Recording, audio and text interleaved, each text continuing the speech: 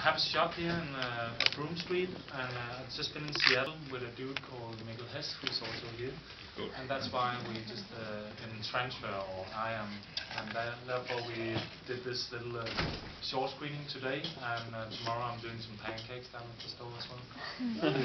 um, I'm uh, educated from Central St. Martin's in London, and uh, I'm um, active in uh, music, uh, visual arts, uh, doing fashion.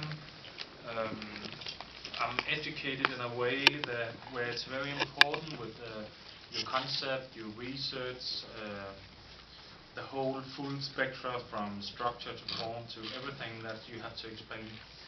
Uh, I'm going to show you a movie, nothing to do with me, but it's just a movie that uh, kind of um, gets the whole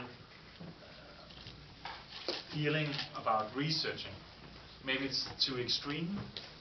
Uh, it's, it's pretty extreme, but it's also um, um, it's also like a history of uh, um, an artist who's not among us anymore, but um, he was he he did projects pretty like pancakes in the beginning, and then it ended up like uh, there was 12, 14 years between his projects. And the reason why there was so long between them is what you're gonna see now. Uh, after his uh, death, they found out a lot of things in his home, and that's um, what we have to see. Uh, drop by for some pancakes. Uh, we have to say uh, thank you for Tribeca and Tommy and Orion, who's sitting up there, for helping us out- with the screening. It's been a little bit nightmare because we needed a little cable that uh,